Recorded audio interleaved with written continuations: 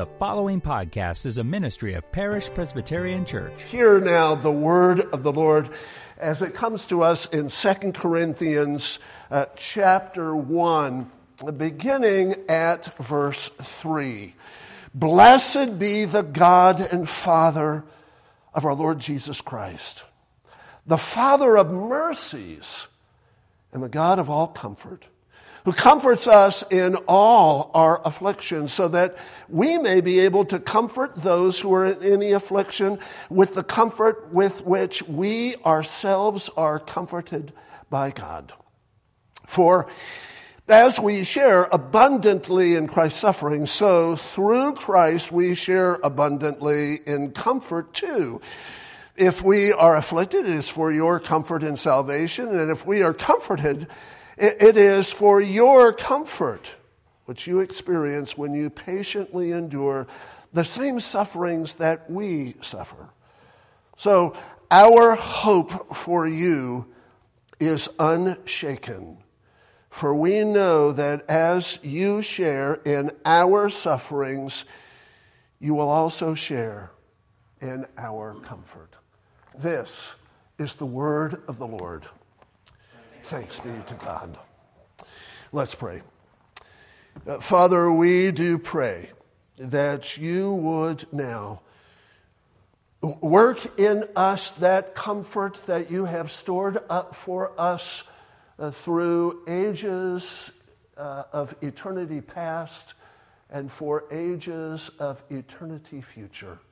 Uh, Lord, enable us to then comfort others who are in any affliction uh, with the comfort that you have given to us. For we pray this in Jesus' name. Amen.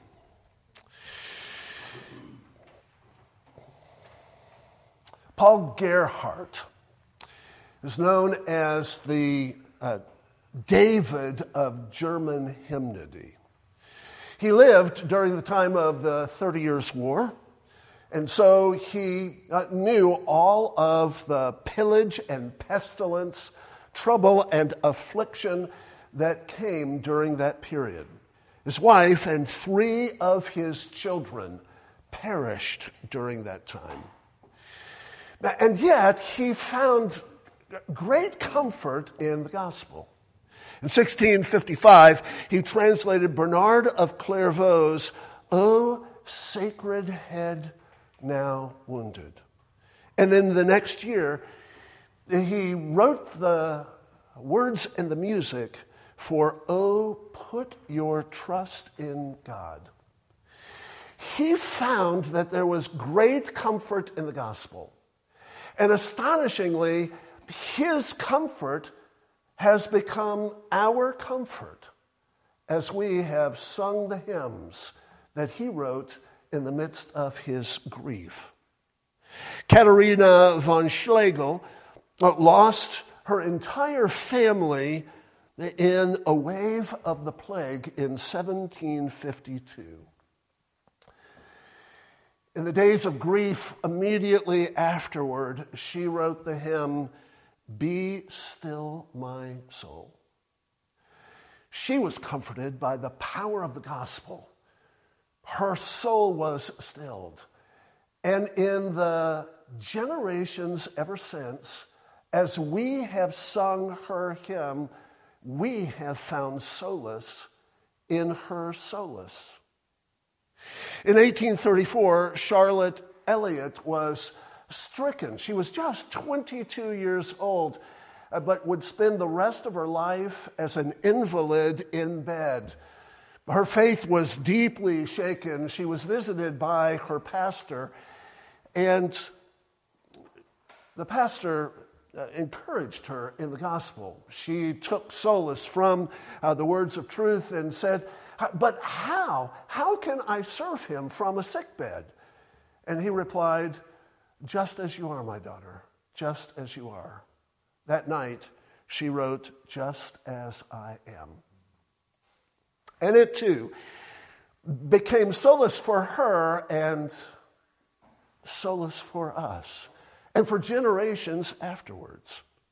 In 1844, Joseph Scriven was on his way home. He had just finished school in Ireland and uh, was making his way uh, near his farm homestead uh, when he found his fiancee, who was to be married to him the next day, face down in a stream. She had been thrown by a horse and was killed.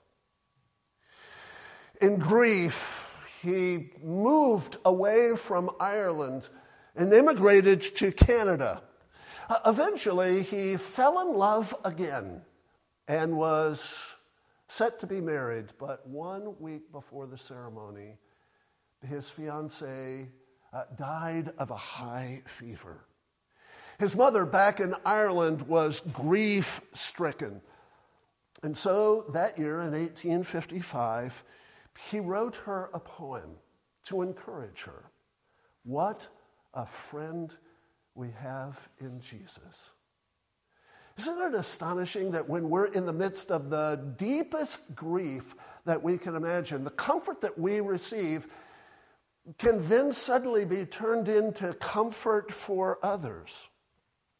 In 1873, uh, the French uh, ocean liner, the Ville de Havre, sank, and 226 of the passengers perished in the North Atlantic, including the four daughters of Horatio and Anna Spafford.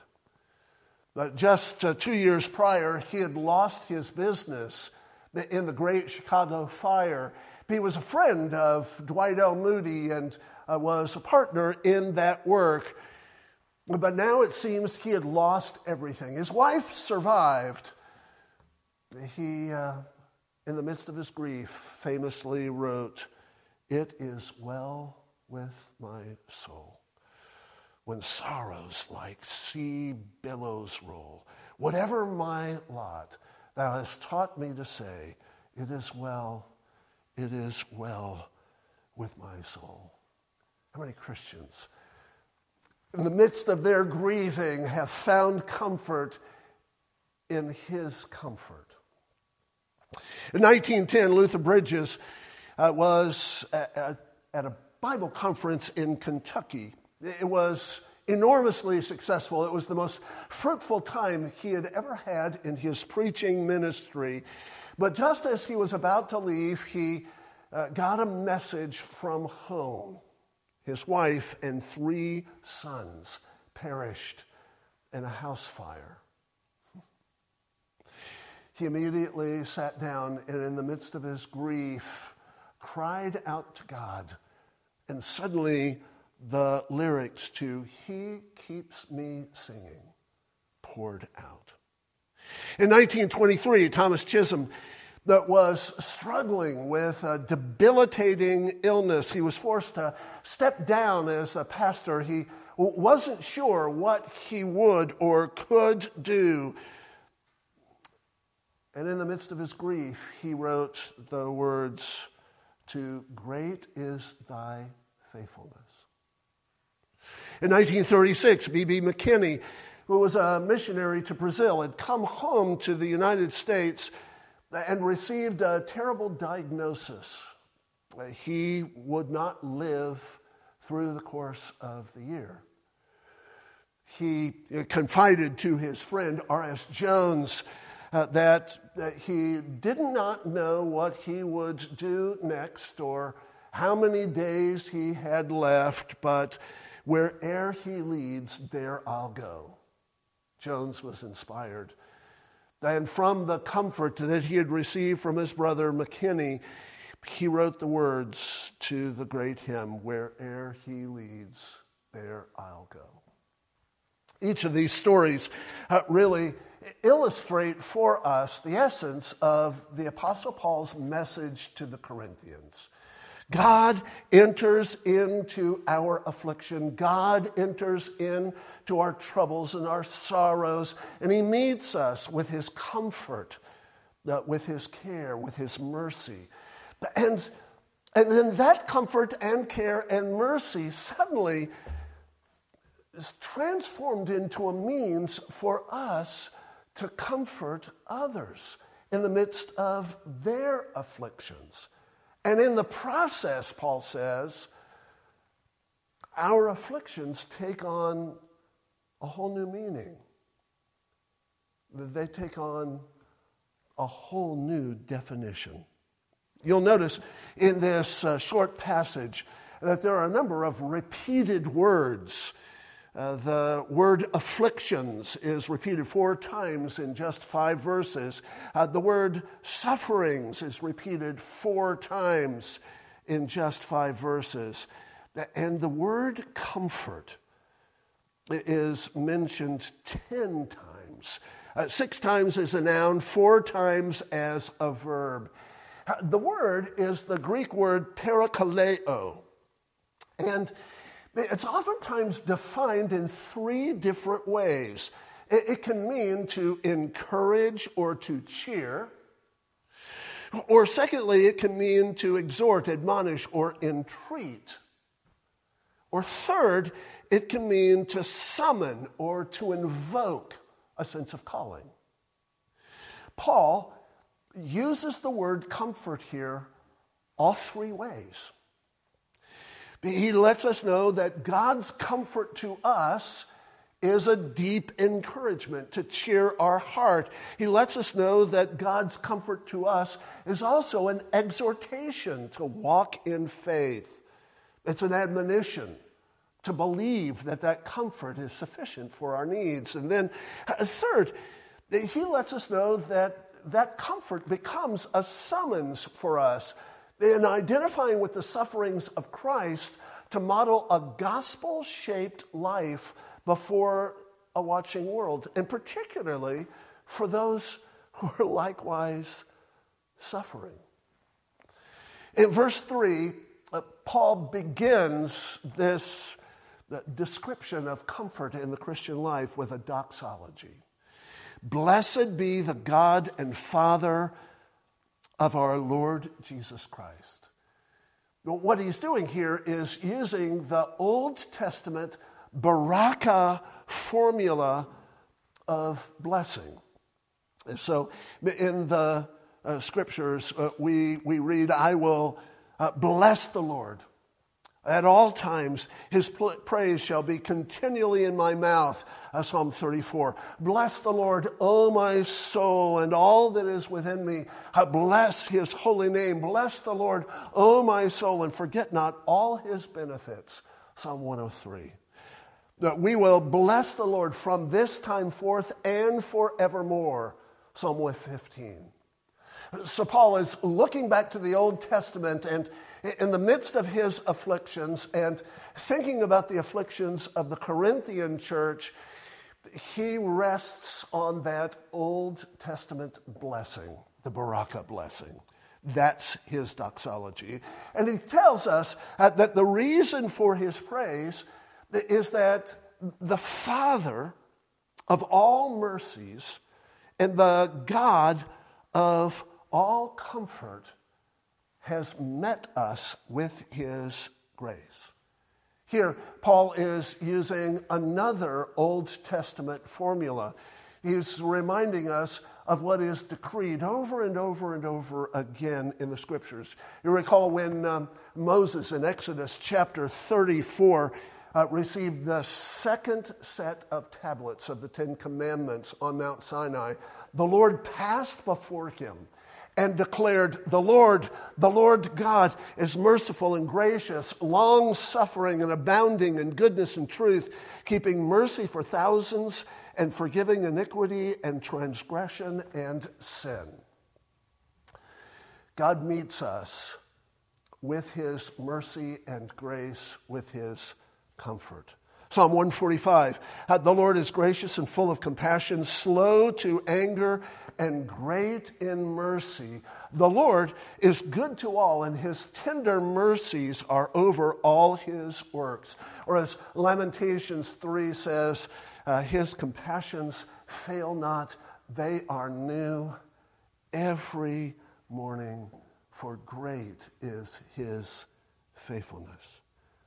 Paul repeats this in Ephesians chapter 2 as he is about to declare the, the wonder of salvation by grace through faith, this not of ourselves. He says, God, who is rich in mercy, because of his great love with which he loved us, even when we were dead in our trespasses, made us alive together with Christ.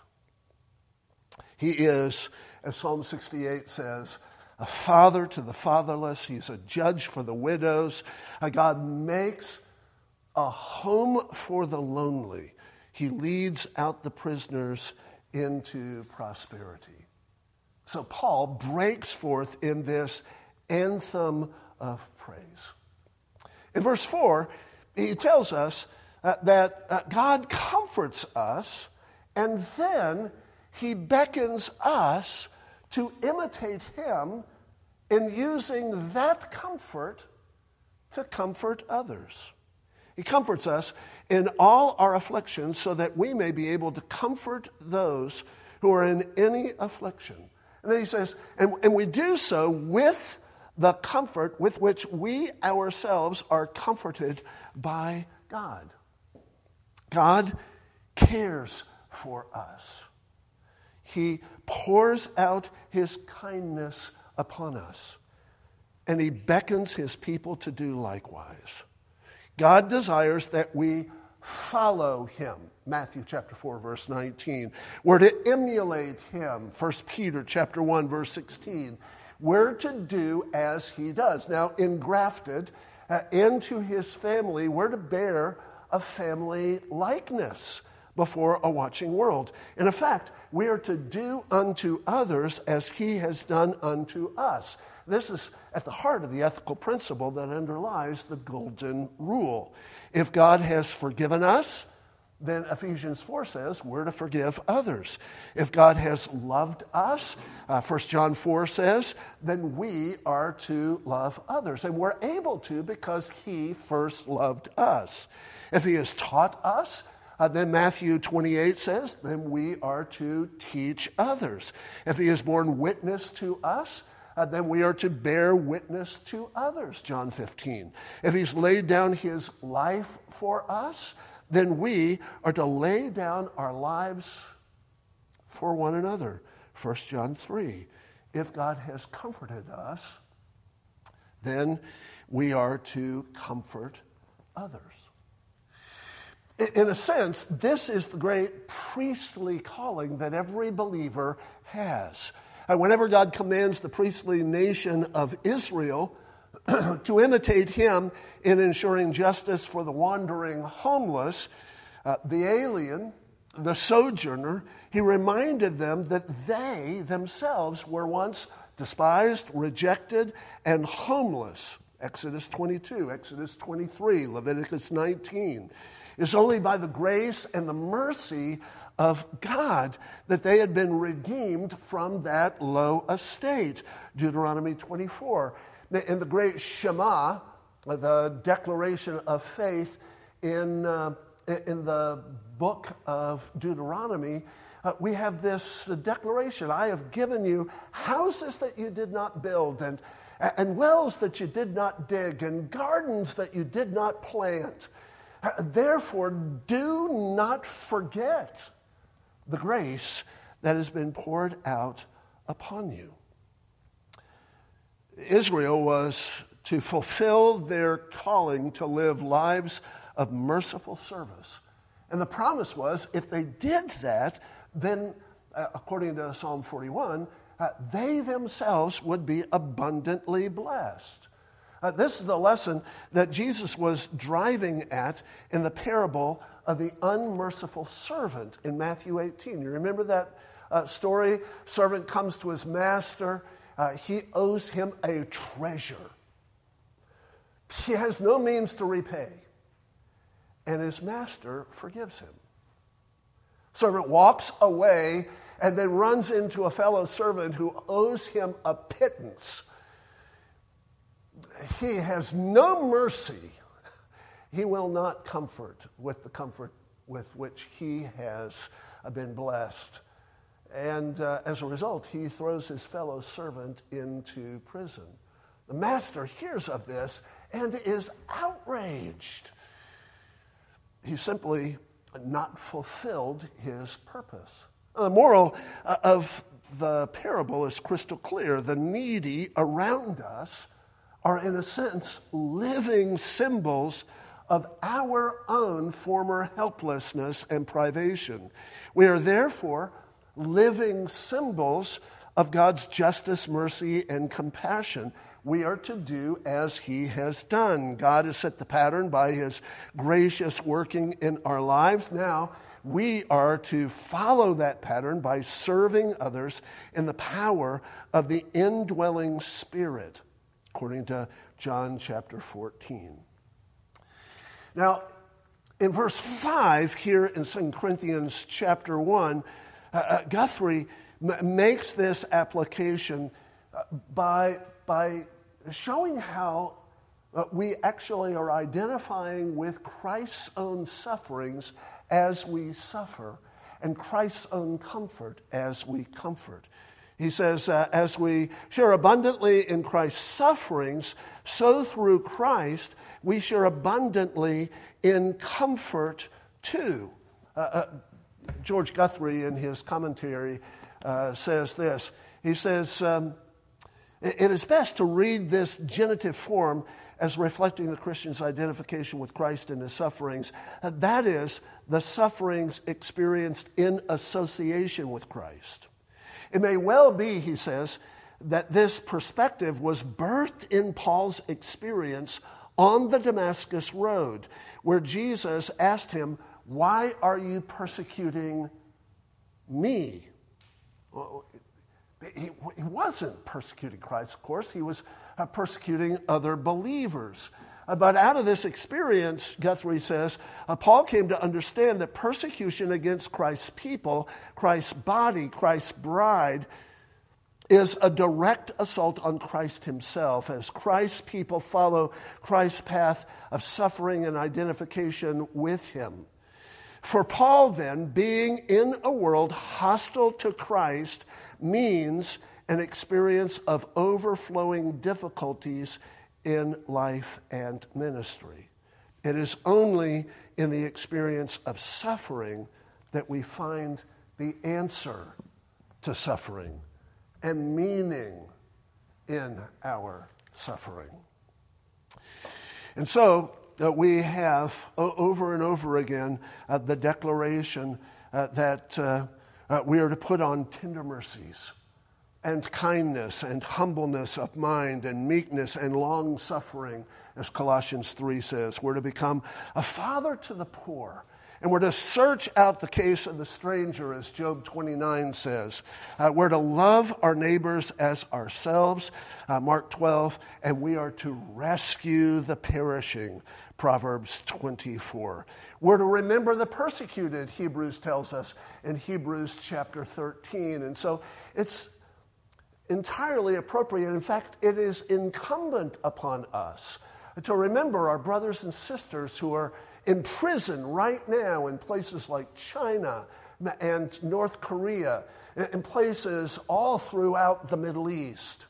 I can remember uh, very well the time that I was in Kirkuk in, uh, in northern Iraq. Just shortly after Saddam Hussein was overthrown, and we were doing a Bible conference, and there were uh, Christian brothers who, who were gathered there who had suffered terribly for years. And uh, at one point in one of the services, they hatched a plan to come and bless uh, those of us who had come from the West uh, to minister to them. They had, uh, they had chains, and they had uh, cut these chains into small pieces. And they came in singing a song of liberty, shaking their chains and reminding us uh, that uh, brothers and sisters all around the world were still in chains, though theirs were broken, uh, they would hold themselves in solidarity to their brothers. You may not know this, but today, January the 16th, in the nation of Canada, our next door neighbors, just to the north, a new law has been passed. C4, it is called. C4 makes it a federal crime to preach the gospel of liberty from sexual addictions, gender dysphoria, the, or sexual dysfunctions like homosexuality. It makes it a federal crime to teach, preach, or counsel that. In Canada, what's to be our call? At a time when university professors are being canceled left and right, at a time when, uh, uh, when people who own flower shops and bake shops are, are being told that they have to violate their conscience, how are we as Christians to respond? Uh, this is what Paul is talking about to the Corinthians. They lived at a time of sore oppression.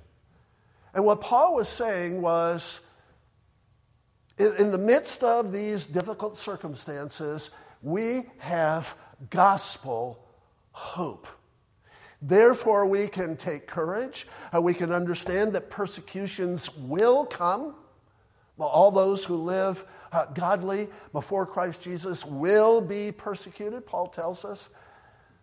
Uh, but in the midst of the sorrowing, God gives us deep consolation and rest in His grace. And that deep consolation and rest uh, becomes identification with Christ Himself. In verse 6, Paul says that all of these trials and tribulations, this suffering and all of these afflictions, take on new significance and meaning. Our comfort becomes your comfort, he says. And your comfort uh, becomes ours.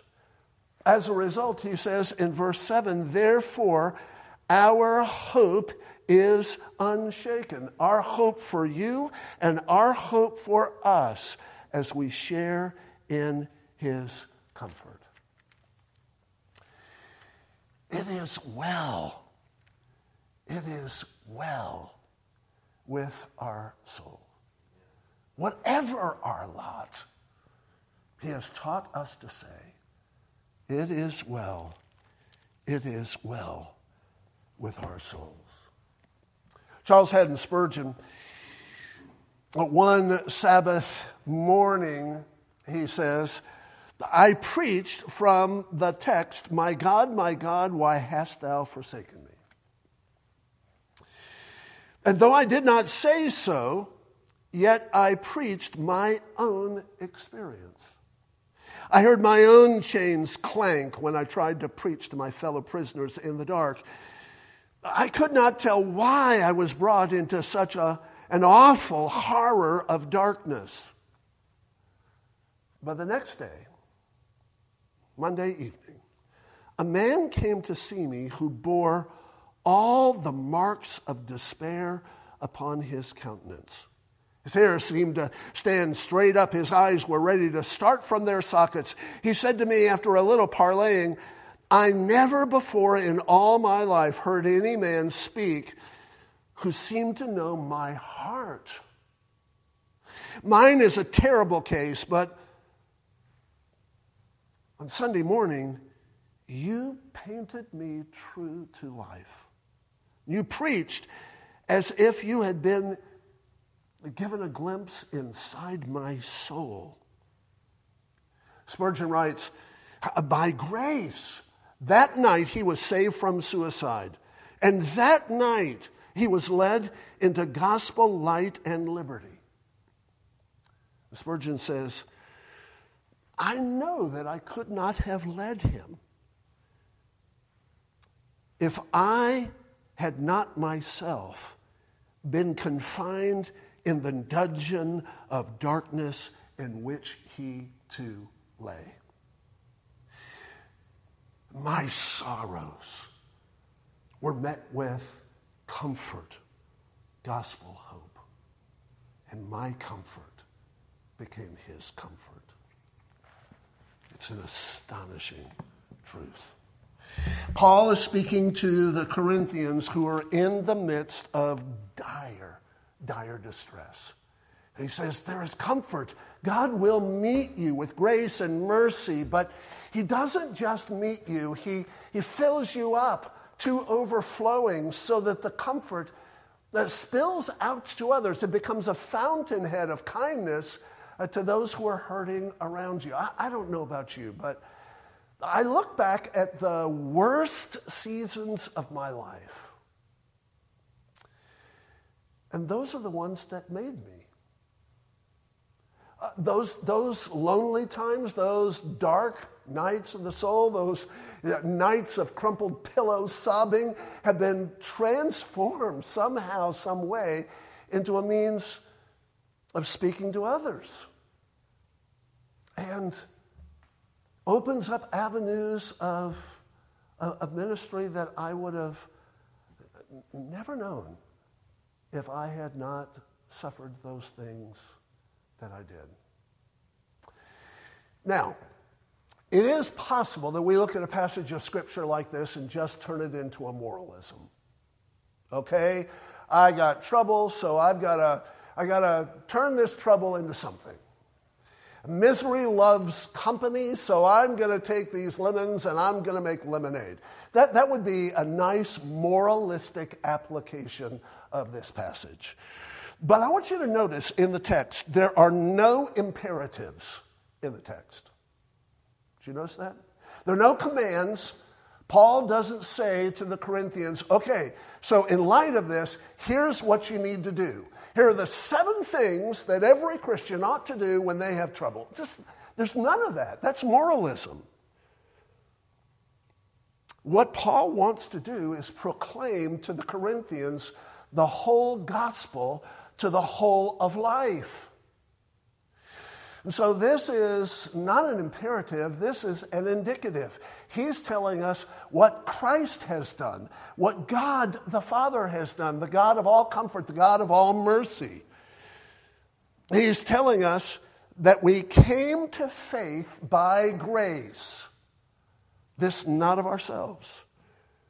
Our redemption in the gospel is the result of a one way love the Father to us. Our forgiveness for sins comes to us by grace.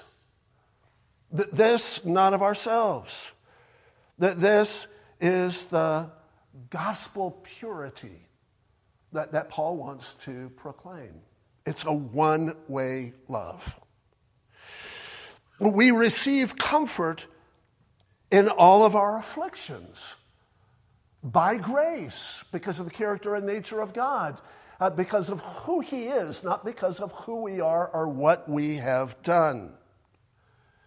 As a consequence, uh, Paul wants the Corinthians to see that even in their afflictions and even in their sorrows, they're to walk by grace. He's showing us that our lives, because of the gospel, can take the shape of the gospel. In our afflictions, we identify with the one who is afflicted for us, and his comfort uh, gives us solace, so much solace uh, that we have reserves to extend that solace to others. It's the gospel, through and through, from beginning to end. Jesus Christ has come, and he has set us free for all eternity from our sins and our iniquities, but in this present life from all those things which chain us and constrain us from walking the joyous Christian life.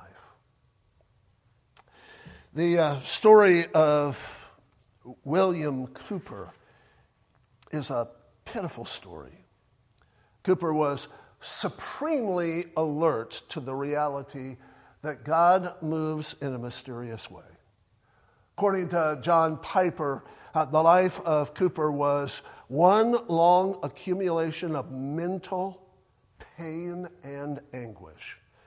Nevertheless, in fits and in starts, uh, from a difficult beginning to bitter end, the poet's faith enabled him to trust that God was working wonders even in the midst of what Tim Challies has called this mysterious and maddening providence. In 1767, when Cowper was uh, moved uh, to uh, the little village of Olney uh, to recuperate from a fit of mental illness to be pastored and discipled by John Newton, he managed to turn his deep melancholy and his poetic introspection into a collaborative project with Newton to create a hymn book to be used by their parish church. It's the hymn book where uh, Amazing Grace had its first appearance and Calm Content had its first appearance. Eventually, the Olney hymnal would include a host of great hymns. How sweet the name of Jesus sounds, glorious things of thee are spoken. The Cowper's included there is a fountain filled with blood. Oh, for a closer walk with God. There is a safe and secret place. But it was in the midst of his deepest grief and his greatest mental anguish uh, that he wrote, God moves in a mysterious way. God moves in a mysterious way his wonders to perform.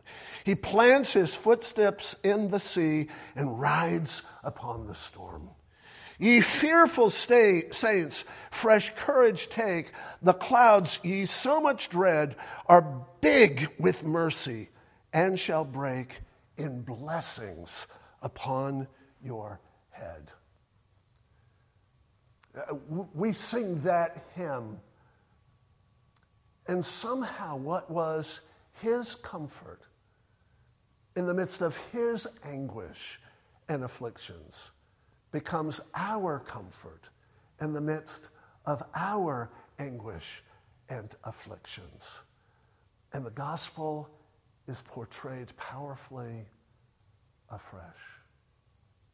Paul says, There is grace that is greater than all of our sin. And there is grace and comfort that is greater than all our suffering. And He meets us so that we then may overflow with that grace to all those around us. That's the whole gospel for the whole of life. This has been the Parish Presbyterian Church Sermon Podcast. For more information about the ministry of Parish Presbyterian Church, please visit www.parishpres.org.